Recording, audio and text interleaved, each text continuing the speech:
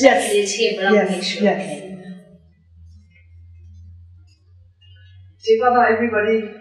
Jai Baba. I always find it embarrassing when I'm introduced as doctor who took care of the family because it's not really like that. You know, I came in November of '82. I was um, I was completely new. I discovered Baba two years earlier, and I really didn't know anything about anything. I was just out of medical school, and. Uh, I just wanted to be around these fantastic people who were the Mandali. And I felt from the beginning, I felt like they were family, you know, like distant relatives I felt very at ease with them. But I, I was basically, have a phrase in French, you know, I was like a little kid who happens to find himself in the playground of the big kids. and it's like, whoa, it's great to be with the great big kid, but I know I don't really shouldn't be there. You know, I belong in the kindergarten. so I, you know, I was not very much, or occasionally having the opportunity to be taking care of them. Mostly they were taking care of me and training me. And um, I, I'll start with one story. I was embarrassed. I'm very bad with dates, so I looked at the date. And I was embarrassed to find it happened in June 86. So this is the story of uh, Faramji's funeral. Faramji was one of the Mandali who lived in the Meher Nazar, you know, the trust compound. And he had, as, I suppose was Baba's order, he didn't touch women. So it was great for me. It meant was the nurse John Foreman was here at the time who would take care of him, give him an injection when he had bad asthma. The guy was uh, very, uh, what to say, I was frightened of him. he was fiery. Anyway, he, he finally died. and, uh, in the afternoon, his funeral is going to take place in, Meherabad. You know, the, the pit has been dug and uh, everybody has come, Papa over from town and Eruch and uh, Bhauji. And the moment the ambulance bringing, you know, the ambulance that was hired to bring Faramji's body to Meherabad, the moment the ambulance rolls into Meherabad, it starts raining. And real monsoon rain, what we don't see anymore. You know, pouring rain, everybody runs for cover Mm. on the verandas. And the, you know where the cemetery is, so everybody runs around the Jhopdi or near Mandali Hall to take shelter. And for 10 15 minutes, it's just boring. And Eruch, you know, always very practical, tell the ambulance driver, just wait, you know, we don't want to unload the coffin in, in this rain. Just please wait, we'll, you know, we'll pay you a little more. Just wait. And 10, 15 minutes later, at the time, you know, we used to, when it started raining, look at your watch, and then you say, oh, we had 15 minutes rain, 20 minutes big rain. I don't remember how long this one was. But when it stops, everybody comes back to the cemetery and the coffin is brought. And just then also I remember the car bringing Mehera, Mehera came, know, Mehera and the women Mandali arrived. So now the funeral is going to start. And uh, just as Ted is beginning to drive the first nail into the, you know, to nail the lid of the coffin, we hear a lot of shouting. And on the road, you know, very close on the road near the Dhuni, in front of our eyes, we see a truck packed with people, you know, they stand in the back of the, of the truck. And the truck swerved to overtake a, a cyclist, and with the road being just uh, wet, we see the truck skidding Oh, in front of our eyes, like in slow motion. It turns and it lands on its side. And you have now a pile of people you know, inside this truck, and some of them running around with blood on their face, shouting. It's like a, a, a war zone. And uh, the main residents are already there, you know, pulling people from the top of the pile, but it looks like the one at the bottom are going to be dead. And I am telling myself I'm a doctor, I have to go there. and I can't move. Really, my feet are, I think they are in cement, I have no comment on my legs. I can't take one step. Because I'm having this argument with Baba, and it's the embarrassing part. But um, I'm telling Baba, this is not right. You know, this is a funeral. We are all here for a funeral. We're not here for this. And you know, I'm not, I'm not ready to be the doctor. I'm for, I came for a funeral. What do you want me to do? All these casualties, and I'm all alone. I mean, it's just no. This is not right. You know, this is not the right time. this should not be happening. I can't do it. What to say? That's what was going on in my brain.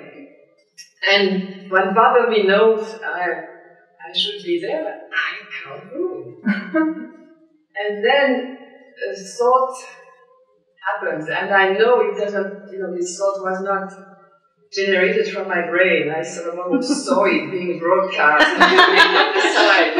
And it says, it was not my word, it was saying, you have an ambulance right here on the premises. You have an ambulance. okay, and at the time, getting an ambulance was a, a major accomplishment.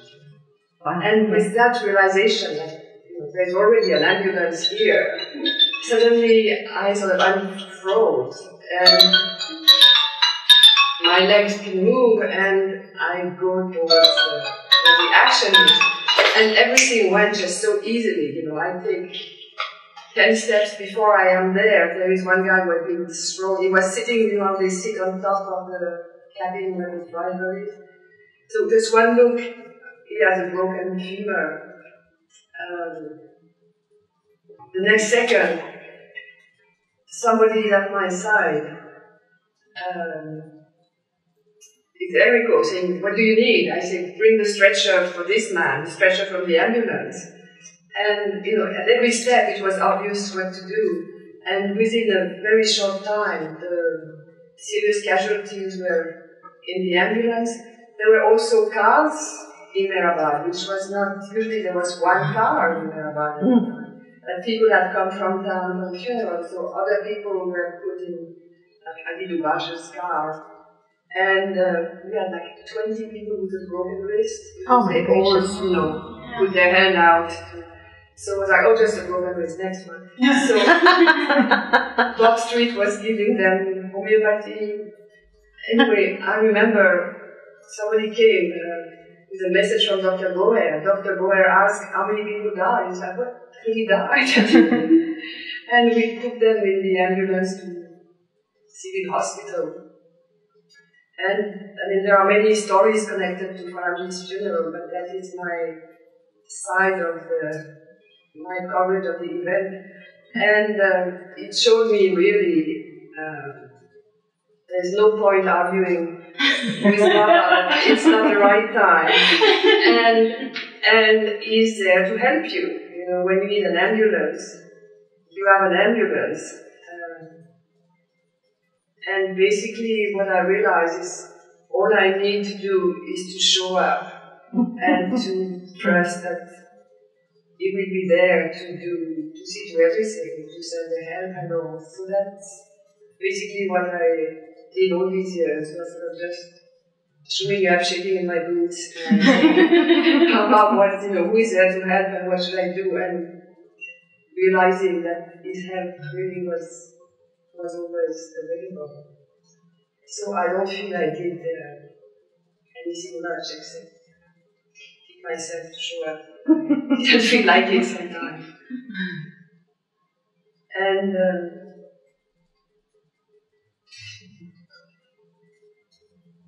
from the second year of my stay here was spent at Meherazad. And um, Eruch this habit, this lifelong habit, he would start the day with a walk. And when I was at Meherazad, uh, I mean, I stayed in different places depending on my duties, but I ended up being in what used to be Paul's room, which is sort of next to my living hall. And I was between the men's side and the women's side, so I spent a lot of my time on the men's side with Benju and and anyway, I would start my day with Eruch accompanying him for a walk. And, you know, we're talking of 32 years ago, and uh, he was he was strong at the time, and he we would walk, I mean, I can't believe it, we would walk all the way to the Road, we would walk all the way around Seclusion Hill, or we would walk, you know, to the reservoir. Now there's hardly any water there. So we, it was a great way to start the day. And, um, you know, Eruch knew the names of the plants and which ones were medicinal and, and he knew everybody, you know, the people going to work on their bicycles and stuff and come to greet in, and they would say, oh yes, this one know, worked with us for a while, this one took care of I do this one was here, this one. But it was so, you know, you would see it in this people's face when they would come, you know, get off their bicycle or their motorcycle to come and, and greet him. They remembered Papa, you know, they remembered uh, this time when they had the, the connection. And another habit of Eruch during his walk, he had his pockets full of prasad for the kids. so of course all the children on the approach road would come running because they would get, uh, he would give them the, the prasad that's used for Amartithi, you know, it's covered with uh, sesame seeds. And he would give uh, not just one piece, and I would argue with him that he was ruining their teeth, that they should be a vitamin tablets, but he doesn't do that. And so one day we are further, we are not on the usual, usual, you know, the nearby road. We are further down, near the what we call the pumping station, and coming opposite us, you know, from the opposite direction, there is a young woman with a little, maybe three-year-old uh, toddler. And I see this kid uh, leaving his mother's side, running across the road, and you know what kids do, he throws himself in Eruch's legs, you know, grabs his knees. And you know, it's very sweet to see that, and I think another kid who wants candy. And then I happen to notice the mother's face on the other side of the road, and she is just in shock. What is that? Who are these people? Why did my oh. child run to this man? I mean, she, it's not one of the regular people on the living on the road to Meherazad. And I started telling myself, asking myself, what did that little kid see? Mm-hmm. What what made him run to Eruch like that? You know, this mm. Recognition of they said children see or what did he see that he came so Eruch called the you know, Eruch called the mother over and says we are followers of Meher Baba, we there and he did a prasad also. He was he was like that. That was uh, that was my joy walking with him in the morning. Let me look at my little my little notes.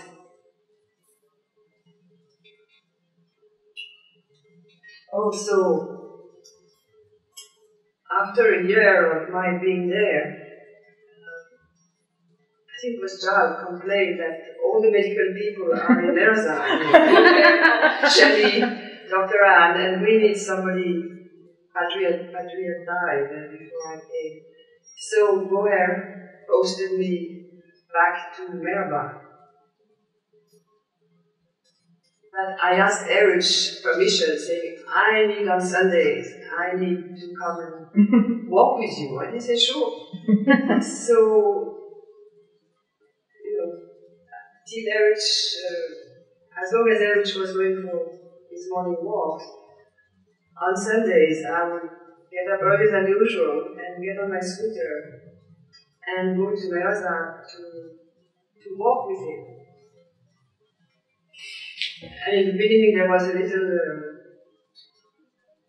nervousness that uh, what was Mehera going to say, because if Mehera said, no, no, it's not safe for a woman to go alone at this time. So I told Mehera, Mehera, at 5 o'clock in the morning, bad people are going to sleep.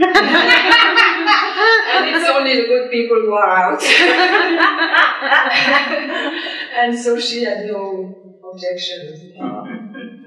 And it's true, you know, Very one, true, uh, one day I'm on my way there and uh, one tire burst.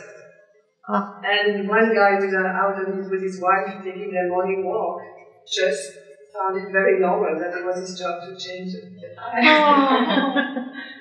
And so that was the Sunday morning habit. And uh, you know, now we are many years later, and um, I read that in my notes recently. I'd forgotten all about that. I had just gotten a new scooter, and it was much lighter than the old model I was used to. And it had rained, so the, the approach road Merza was full of mud, and um, there's ruts, and on my new scooter, uh, I got scared. I was going to skid, so I'm getting there uh, not at all uh, confident of my abilities to keep the scooter up. And uh, I must have been late this morning because I met Eruch halfway. When, uh,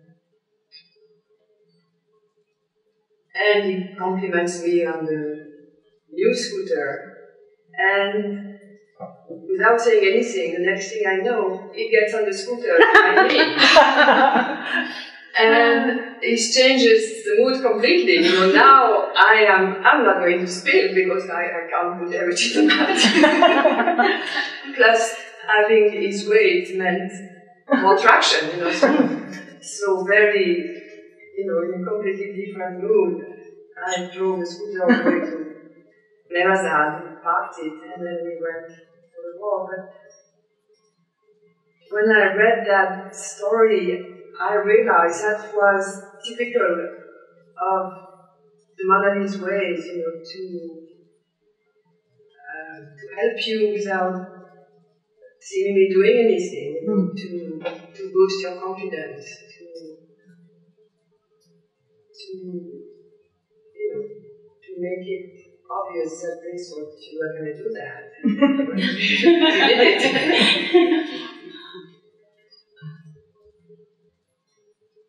I need a little sip or something. Nobody has will talk, just me. You're on. You're For it. now. You are it. You want tea or mint tea or anything? Mint one Indian tea. We can ask if anyone has a question. I don't know if she's ready for them yet.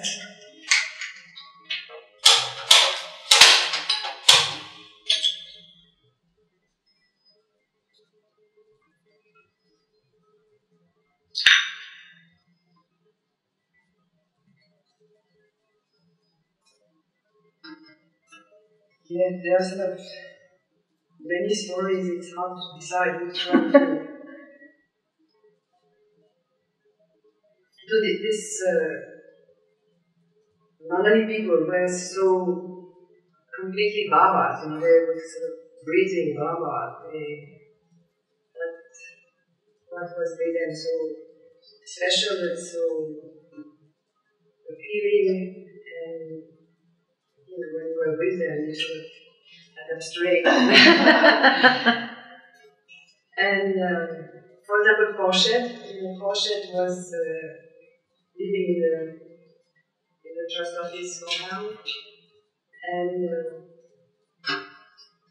with her were Sudam and Asha. Asha was taking care of her, and two little kids, uh, Darshana, Mira and Darshana, were born. One of my first visits, and second one when I came to stay. So it was a really nice place with, you know, relax there. It was not spiritual training, it was playing with little kids. It was a, a nice place to chill out, you say. and um, and Khorshed had a lot of um, health problems. She had asthma and heart problems and this and that. So I was often called to, to take care of her. And one day I forgot what she had. And the next day when I come to check on her, she tells me she had a dream of Baba and Mehera. And I thought, oh, she had a dream of Baba and Mehera. That means she's gonna die. so I, I sent a note to go there. Porsche had this and that, and I'm giving her this and that, and she dreamt of Baba, and I said, she's gonna die. and she didn't die. and the next time she had uh, another medical problem, it happened again, and it took me quite a while to see that it didn't mean anything. It was sort of a routine for Khorshed to dream of Baba and Mehera. It was, it was not a sign. but I guess they, you know they looked so old to me, people like Bennu and, and Koshet. I, and because I was a doctor, I always felt uh, tended to interpret many things as being going to die.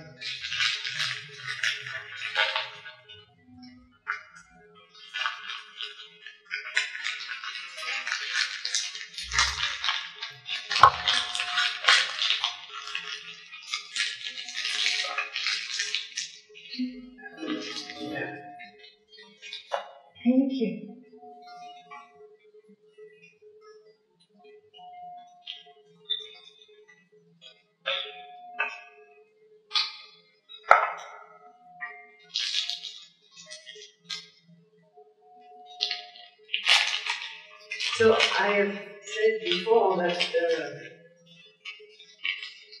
I realized most of my job was just showing up. But there were many times where I really felt it was time to leave. Enough of that. You need to take care of yourself and be serious about life, you know, earn money and uh, go back to France. And, and repeatedly I would that decision. and I would decide I'm going to tell Eruch on Sunday during our walk. And we start the walk, and I would feel if I tell him now, so I'm going to ruin his time. you know. so I'm going to tell him at the end of the walk.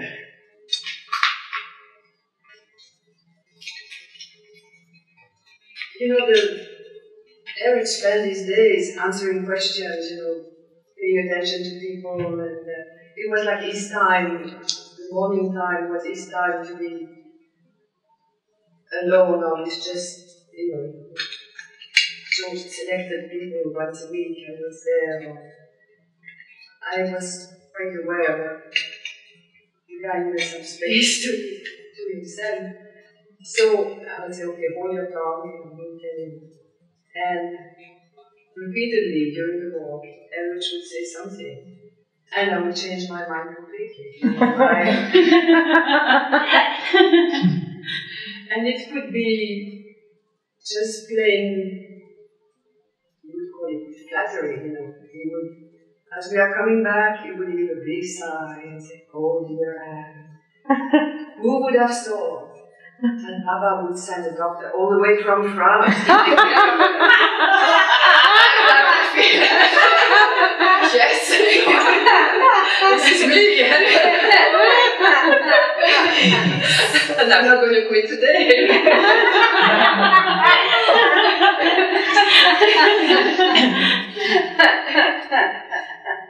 it happened so many times, you know. I have uh, another time he told me, you know, Baba paid for so and so to go to medical school, and where are they now? But they are in England. Or oh, he paid for so and so to go to nursing school, and where are they? now are in Bombay. and this one, and that one. He sends you.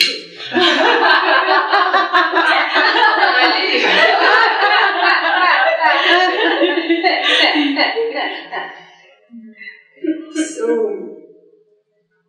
so really, I can't take the credit. You know, it's it's all between Baba and Eruch. They um, plotted to, to bring me and to keep me here.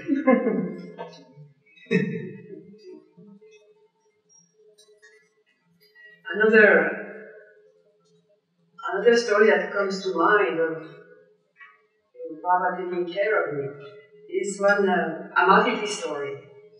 So it, um, it must be again in the early 80s, and at that time, during Amartithi, I would spend the nights the hill in a little room at the back of Mandali's kitchen.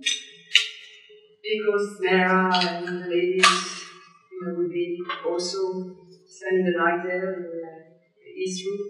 She used to be in Mehera's room. So I was up there on Amartithi duty. And um, people like Casey, Andrea, people who were living in Ahmednagar would move to Meherabad during that time and would stay in my room. And also the center would close for a couple of days.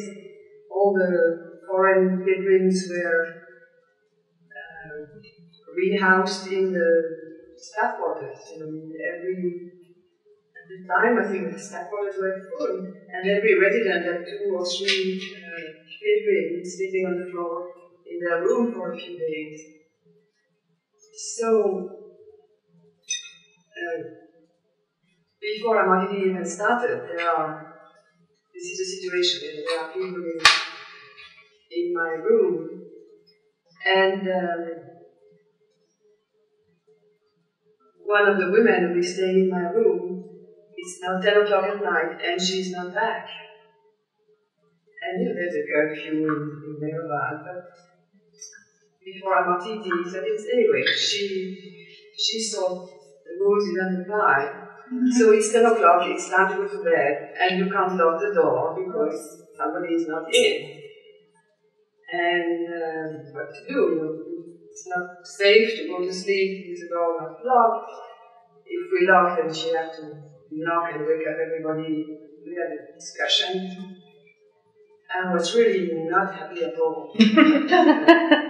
what is that? You know, no consideration. And, and finally, maybe 10.30, this person shows up. And within three minutes, she's brushed her teeth, she's asleep. And I'm so full of anger. and you know, these people who don't follow rules and what do they think they are? And I am somebody with responsibilities. And, and uh, everybody in the room is snoring like and I know it's myself who is keeping me awake, but I can't sleep. so the next morning is now we are on the 30th of January. Uh, Amartithi is going to start for in earnest, and when I don't sleep, I'm not. Uh, I'm not doing good. so you know, I've had breakfast now, it's time to get my bag and my sleeping bag and move to my Amartithi quarters at the hill. I'm so tired, so I lie down for another 10 minutes. But, you know, the person who I've already moved in my room, so there's their bags, and the person who's going to sleep in my bed has even brought books, and she's put books on the windowsill, you know, some people have time to read.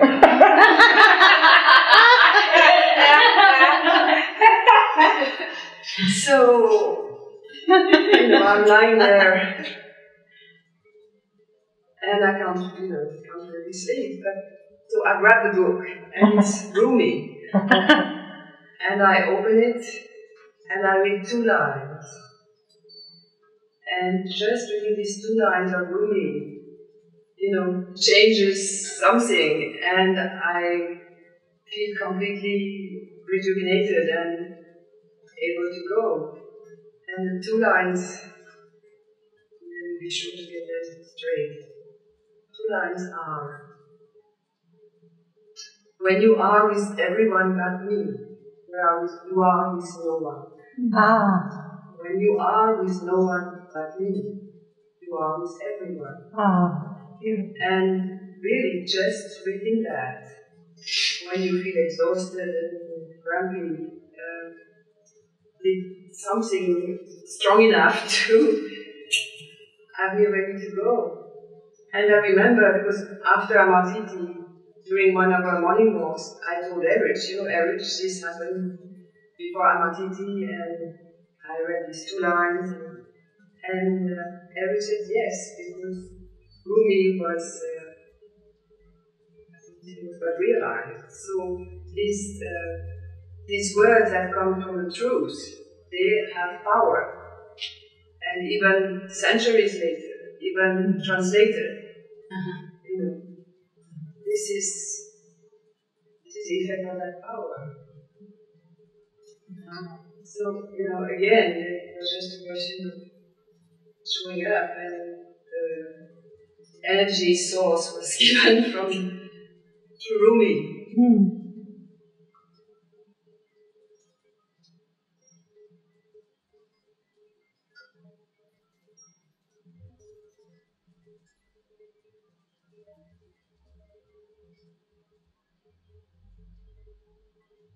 Good, I'm waiting. What time do we stop? Never. When- Whenever you, you have plenty of time, whatever suits you.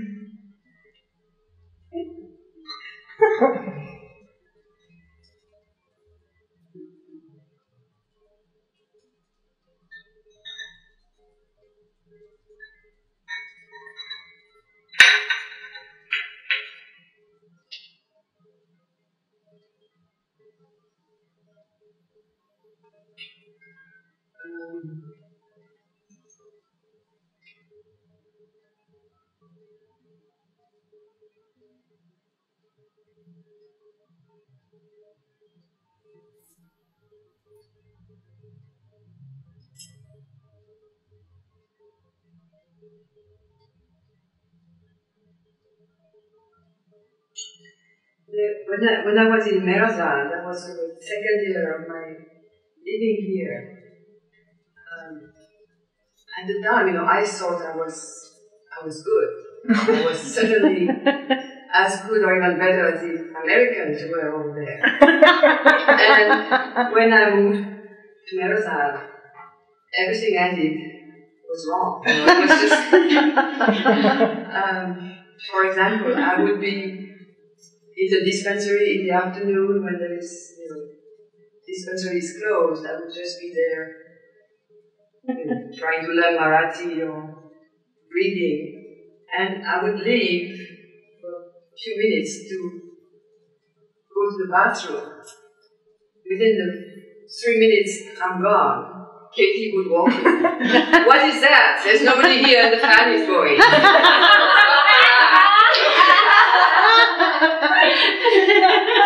and when Katie was not happy, she would broadcast it, you know, loud and clear to everybody on the men's side, on the women's side. Dr. Anne is not in the room, the fan is on, the light is on.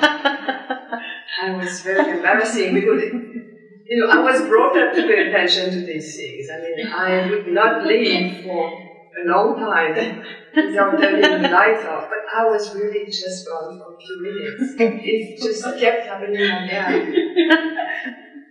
Another thing that I kept doing is at the time, you know, we didn't have disposable uh, needles and syringes, so I would boil, I would boil the, uh, needles and syringes. And but you, I shouldn't be that. I would forget. And Katie would walk in, and the gas is going on, and all the water has evaporated, and there's just some little balls that's standing back at the bottom of the pan with the needles. And who is in charge? That doctor I and, uh, you know, Katie was, hammering me, but Dr. Goher very practical would give me a timer. you put that in your pocket. but, you know, it was part of the, of the grinding that year at Marathon. I, it was not about being good, it was about, uh, you know, Another example is uh, Kitty. You know, Kitty would come and spend a month, I think, every year uh, living the women mountain. So, and she would stay at Meherazad. So, Dr. Goher uh, sort of put me in charge of taking care of Kitty's needs. She didn't want Kitty to exert. So, and uh, I'd never met Kitty before, but it turned out to be quite an enjoyable job because Kitty was so so easy. I remember the first time uh, Gloria wanted me to comb her hair. She didn't want Kitty to, you know, to do that herself. So here I am trying to braid Kitty's hair. and um, you know, Kitty, I used to have braids when I was 12 years old, but it's been a long time I'm not quite sure how to do that right. And she was, oh, of course, of course. Baba, Baba always asks us to do something that we don't know how to do. Once we've learned how to do it, you know, it transfers you to do something else. So she, she didn't mind if the not quite, quite the same. Anyway, that day, I I'm taking a bath. One of my difficulties in Meherazad was when to take a bath. I had to share bathrooms, Rano and Anabad, Meheru. And then Meheru was in charge of the hot water, and she had bath water was heated on the wood fire, you would get your baguette. So and there was Mehera. Mehera, Mehera would spend most of the night up uh, talking to Baba because she felt in the day she was distracted by the pilgrimage. She, she felt she could not you know, focus on Baba was uh, was not there because she was telling stories, she was telling Baba stories to, to the pilgrims. So the night was her time to be with Baba. And then, uh, very late, she would, uh, she would go to sleep. So in the morning, she would wake up much later than the other women. And uh, there was no fixed timing. The morning auntie in, the women in Baba's room was when Mehera was ready, when Mehera would call. So you had to figure that out. mm-hmm. When is Auntie going to be? Do I have time to a bath or not? So Meheru was usually the one who, knew, and she would, no, no, no, Mehera is going to take a bath now, the hot water is for her, or no, no, take, you take a bath now, you've plenty of time. So I'm there taking my bath, and sure enough, when I'm in the middle of it, there is a bell for Arti. right. But Kitty, you know, Kitty used to stay in Meheru's room. So I hear Casey coming to named Kitty. And Kitty had uh, problems with her knees, so she couldn't climb the steps, so she would have to go all the way around to go to Baba's room for the prayers. And of course, uh, she would go very fast. So I calculate, you know, I have about three minutes uh, time is going to take for Kitty to go all the way there. So, you know, I can do it. I rinse, I dry up, I comb my hair, I jump in my clothes, and I get into Baba's room when everybody is about to start the prayers, and you know, I feel so proud of myself. and Mani is about to start the prayers, and she takes one look to the right, to the window, and says, "Oh." Who left the door to the bathroom open? and of course, that door was supposed to be closed all the time. And who had left it open? and it's something that took me a long, long time to learn. At the moment, I would feel proud I've done something. and I would put the rag from under you.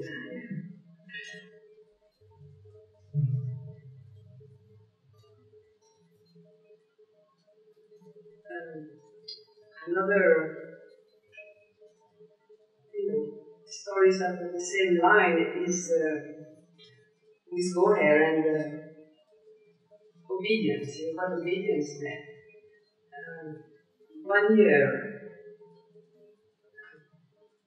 a family was coming with a child who had asthma. And these people were especially close to Mehera. And Mehera was quite worried, what if this child has asthma? So everybody was talking about that. So we had sort of ahead make cars, you know, because she weighs of her weight, she should get so many milligrams, injection of so many milligrams of this. You know, everything was ready in case there was a problem with uh, that child. And uh, because this family had relatives in town, they were not staying in Meherabad, they were staying in town. So Mehera saw that the doctor in town should be uh, informed. So Goher tells me, um, Mera is really worried about, about this, so you go and meet the pediatrician and you ask him in case there's a problem in the night, you know, would he be ready to go and do a house call for them?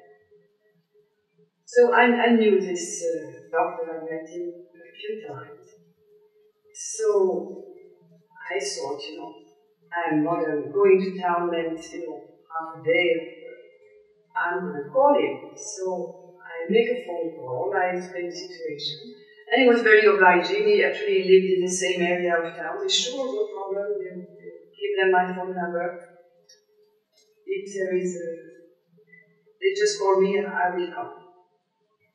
Then a few days later, Goher asked me, so did you meet Dr. So-and-so?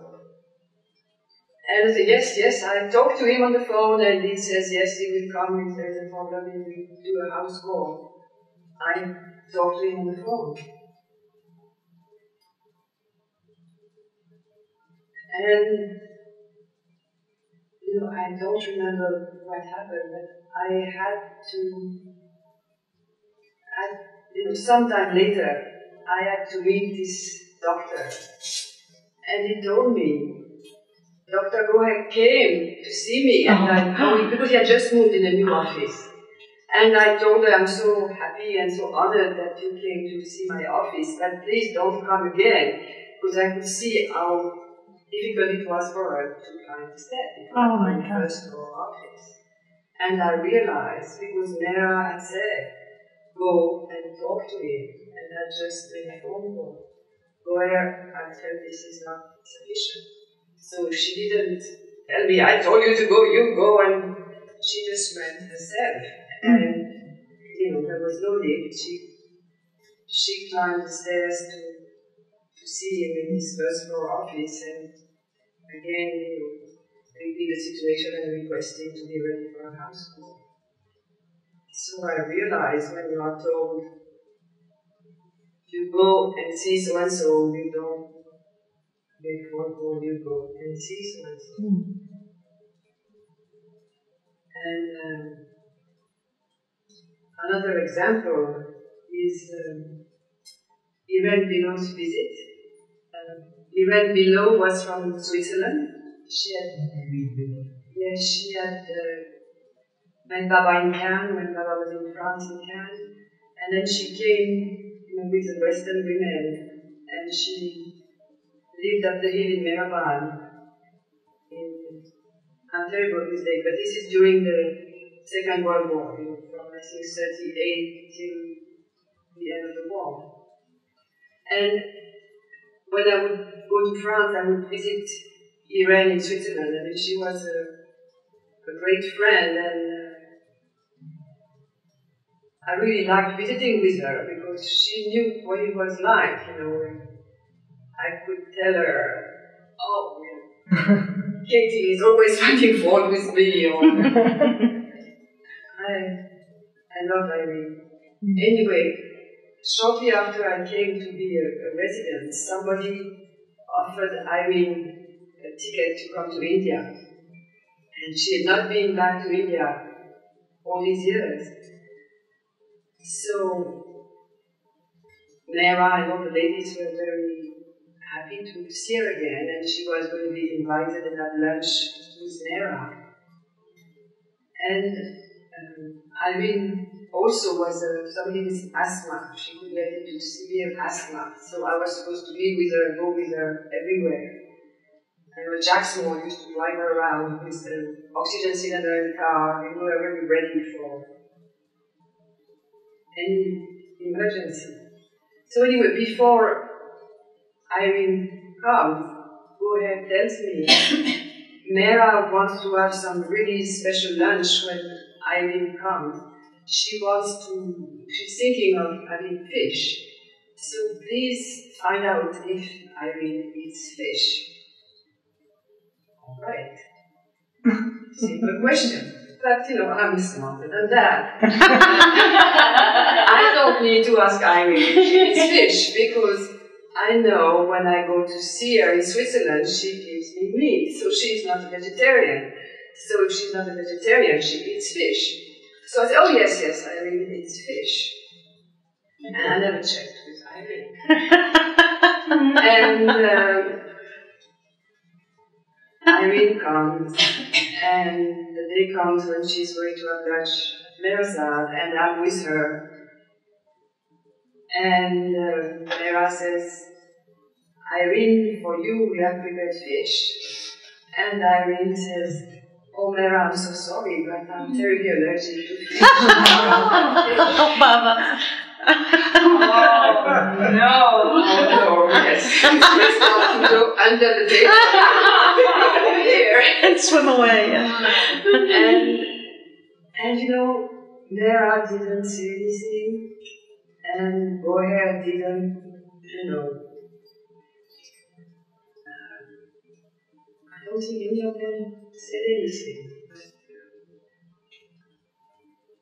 uh, I guess Irene had write it down, or, but I learned a lesson. You, know, you don't use your smartness to figure it out. Just ask.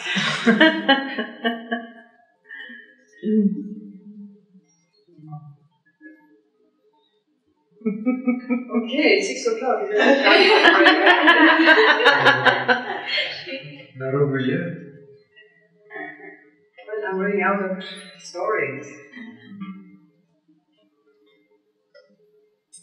Well, how about people asking questions? Um, I said, oh, frightening.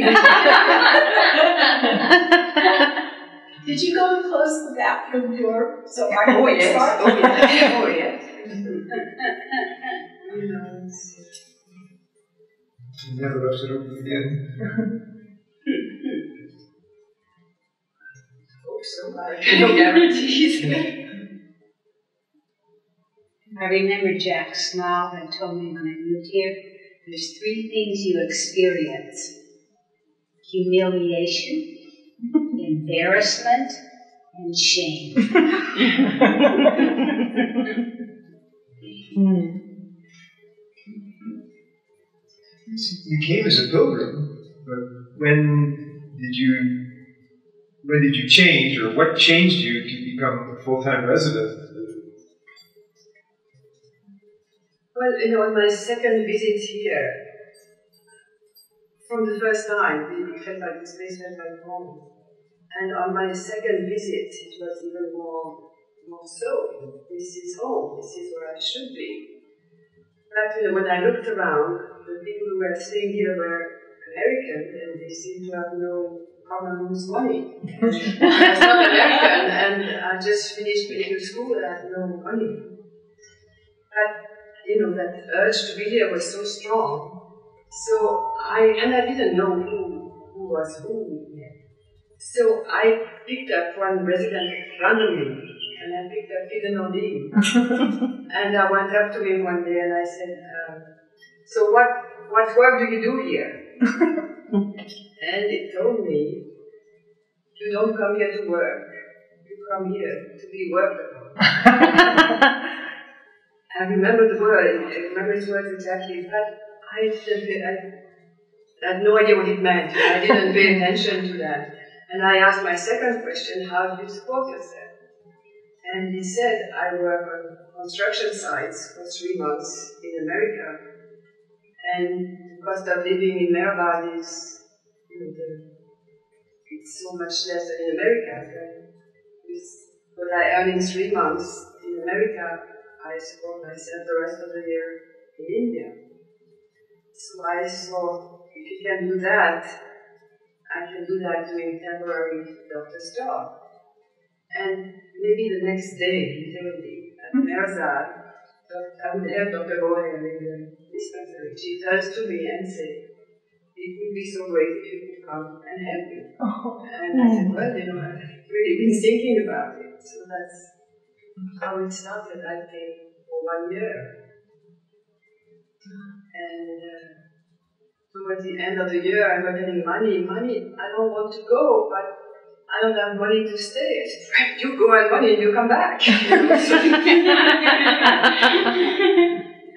so that's how it was for. Uh, Did it work out that two, three months in France was enough for the rest yeah, of the year it, here? It worked out for. Out somewhere or other, you know, for the first 10 years, and then, you know, Bala provided all the arrangements. Now, you traveled a lot with Bhauji. Do you have any particular experiences you want to share of that?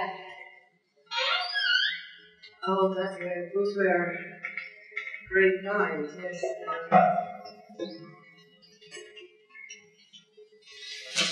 The,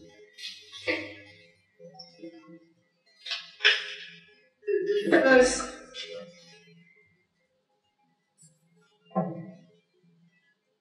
yeah, after his second cancer surgery and he had a colostomy.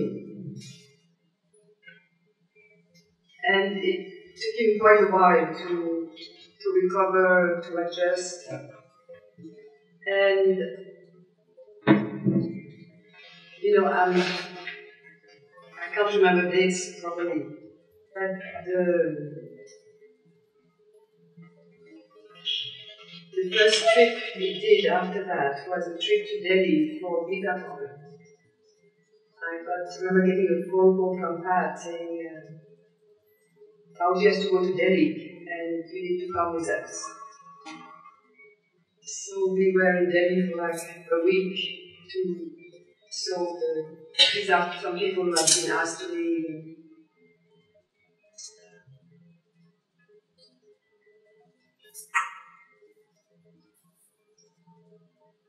I think I can tell that story. Um, you know, that at the time, that's how Censoring. things would, would happen uh, we've been to every person in Delhi and uh, you know the local MLA from Nagar and everybody who supposedly can help and nobody can do anything.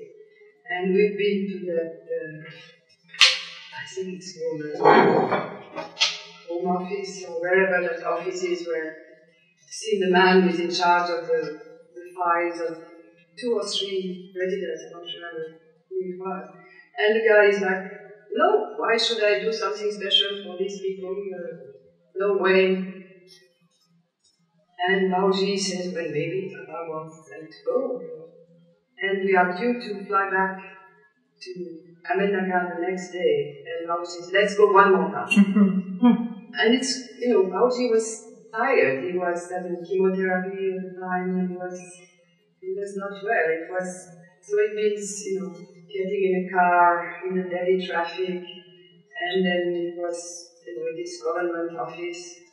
And the guy is still the same, not very pleasant man. Uh, there is no reason I should do anything special for you. And I see, why did Bhauji insist on coming one more time?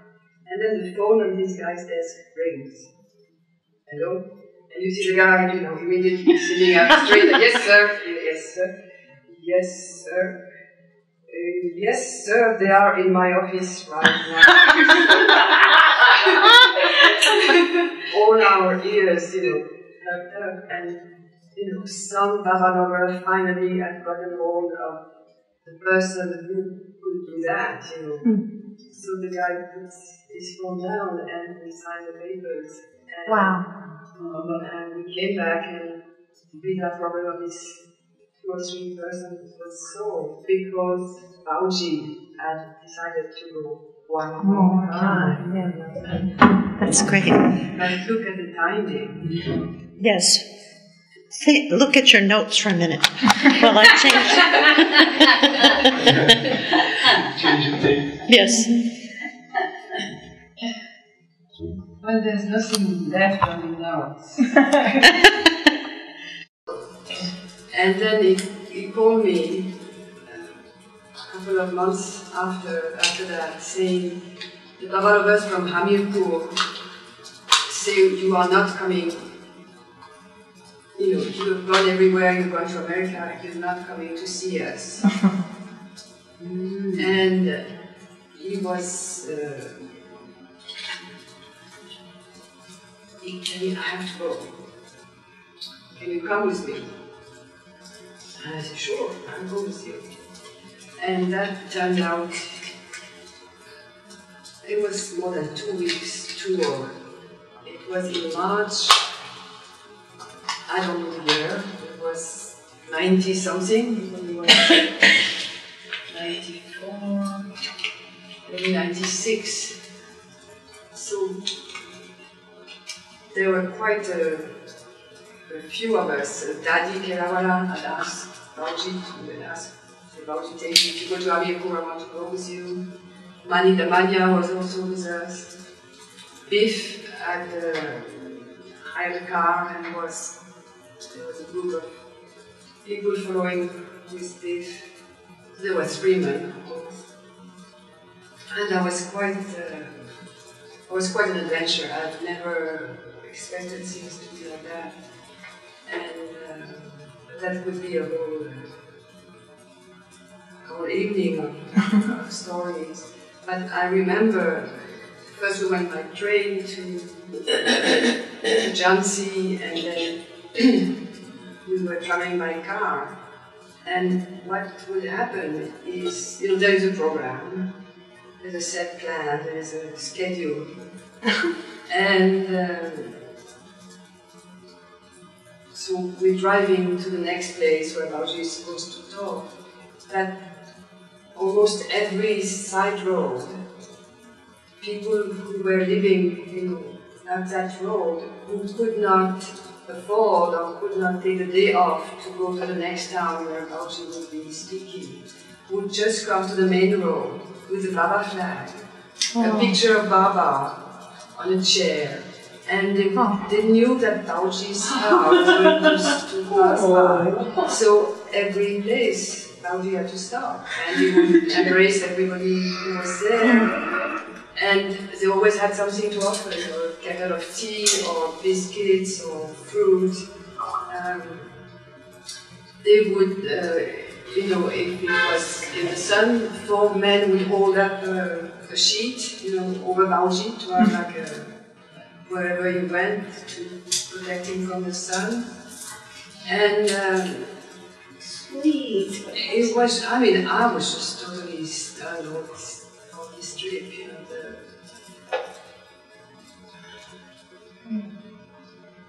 the, and they really, you know, they, Bhauji had that connection that Baba, he was doing the Hindi correspondence for Baba. So they knew him from that. But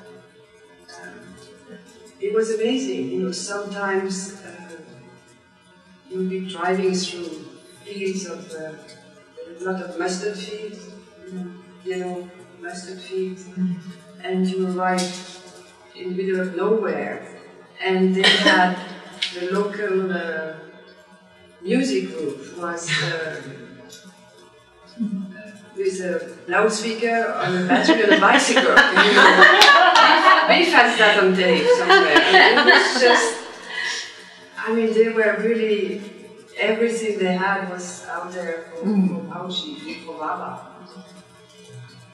And uh, of course, the schedule and the timing and the program would uh, always be late, and I was left to worry about what his blood sugar and what time was lunch going to be, and so on.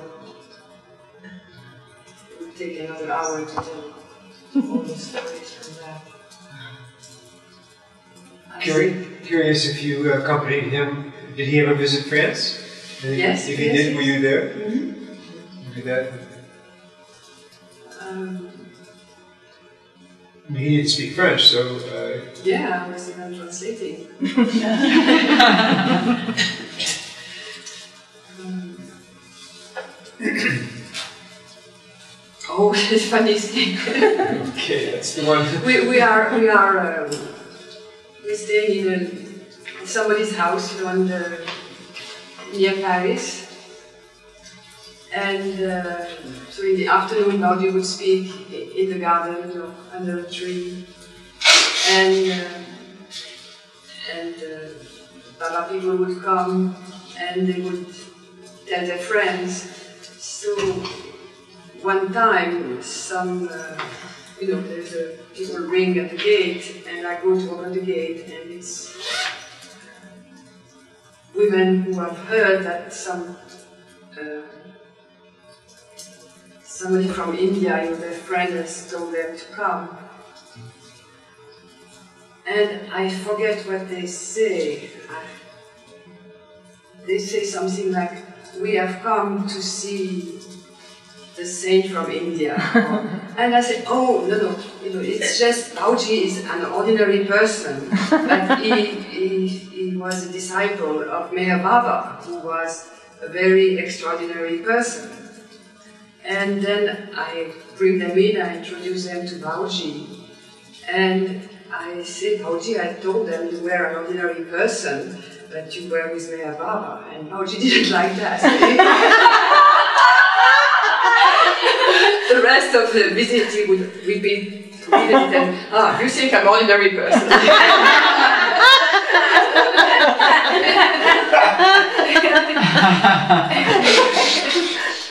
she says I'm ordinary. I'm